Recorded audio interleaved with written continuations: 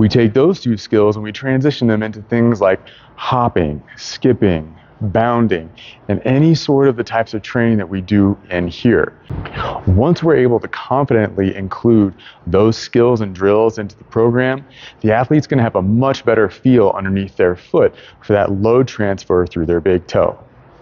And over time, their stride becomes more economical because they're using their whole foot and that stiff, efficient lever set by the big toe. So, clinically and biomechanically, the big toe isn't just some random appendage on the end of your foot.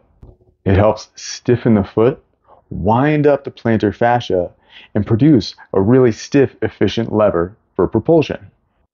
Keeping it mobile and strong improves push off efficiency and limits compensations that might lead to injury.